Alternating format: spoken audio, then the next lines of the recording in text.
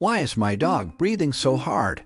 Labored breathing in dogs is a condition where the dog has difficulty breathing, often accompanied by rapid or shallow breaths. It can be caused by several things such as allergies, heart problems, and infections.